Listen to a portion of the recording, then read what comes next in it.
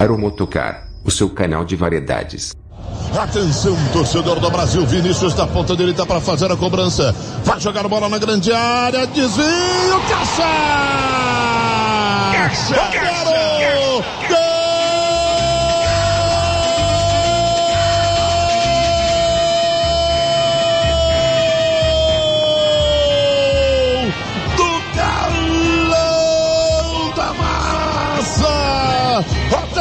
Otero! Otero! Otero! Grande Otero no fundo do barbante. Tava lutando desde o primeiro tempo, batalhando, buscando, chutando. Já meteu uma bola na trave. Tá gostando de fazer gol. Grande Otero, ele vai pro fundo do barbante. Desafoga o povo preto e branco aqui no Morto. Otero, Otero, o grande Otero do Galo aos 15. Manda pro fundo do barbante. Agora no placar.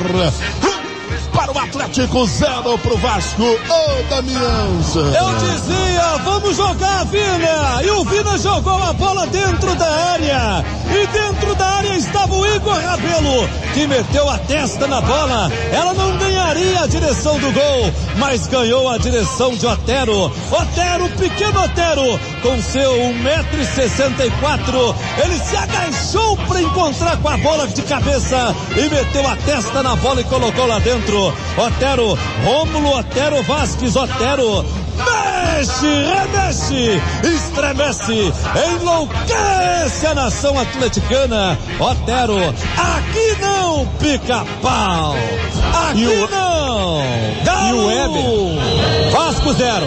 Atenção, Rossi, tomando posição para a batida do pênalti para a equipe do Vasco. Alô, Cleiton, eu tô com você, meu goleirão. Rossi, caixa! Caixa, caixa, caixa! Vasco! Rossi, camisa número 7 no fundo do barbante. Um para o Atlético, um para o Vasco, Rezende. Durou muito pouco tempo a vantagem do Galo no jogo. Pênalti confirmado pelo VAR. Rossi, que entrou há pouco tempo, deslocou o Cleiton. Foi pro canto direito, goleiro do Atlético. O chute forte, mas no canto esquerdo. Tá tudo igual. Um a um aqui no Horto. Olha o Rossi, na ponta direita ele domina, tenta a caminhada, faz o lançamento de bola na grande área. Patrick falhou. Caixa! Gol do Vasco!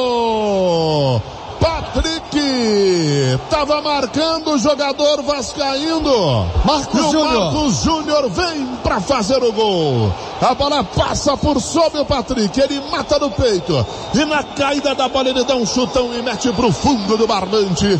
O Vasco faz um gol aos 49 da etapa final aqui no Morto. Ô Rezende. Cruzamento que veio da direita, o jogador trouxe pro meio, cruzamento pro segundo pau, o Patrick calculou errado, pulou e a bola sobrou no peito, no segundo pau do Marco Júnior. Aí o Marco Júnior teve ele e o goleiro Cleiton. Afundou, né? Afundou. O jogador do Vasco no finalzinho, a virada do time carioca. De novo o Patrick. Fala individual. 2 a 1 um pro Vasco.